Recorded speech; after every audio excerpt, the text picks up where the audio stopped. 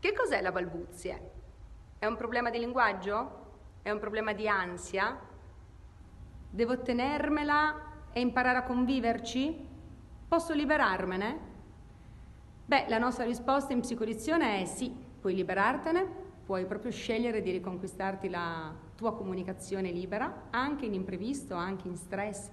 Faremo vedere dei video anche durante la conferenza di mercoledì 2 ottobre a Padova, all'Hotel Galileo in via Venezia, zona Fiera, e in questi video entreremo nella parte tecnica di psicodizione, eh, perché funziona, perché sotto ansia quegli strumenti mi permettono di rimanere libero e fluido e lucido e quindi sarà un bel momento per confrontarsi e per avere un po' di risposte.